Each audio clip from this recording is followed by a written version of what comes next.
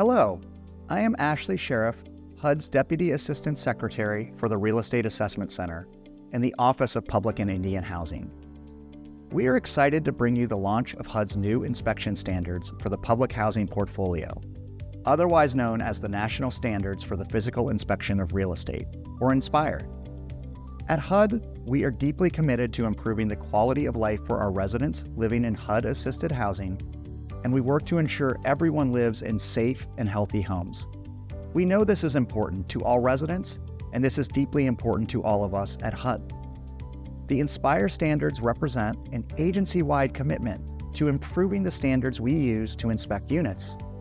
This is the first overhaul to the standards in more than 20 years. With NSPIRE, we put the health and safety of residents first, and the focus is on where they spend the most time, which is inside their units. NSPIRE transforms how HUD manages the quality of affordable housing units with stronger standards, better inspections, greater insights, and healthier and safer homes for residents. NSPIRE is the result of extensive testing as well as resident and industry feedback.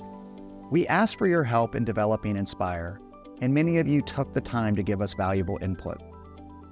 Whether it was commenting on our rule, standards, or scoring notices, participating in our demonstration or pilot inspections, or attending one of the 16 Get Ready sessions that we conducted across the country we are deeply appreciative of the insights you provided. NSPIRE reflects your feedback and the HUD wide commitment to safe and healthy homes and to the processes that make that happen. As we move forward with NSPIRE, we know this will translate to positive change as we continue to work with residents, housing authority leadership and staff, and industry partners to further our commitment to the families we serve.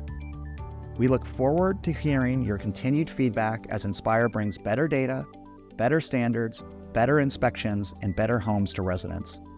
Thank you for helping us make this happen. My team and I look forward to listening to your continued input. Thank you and take care.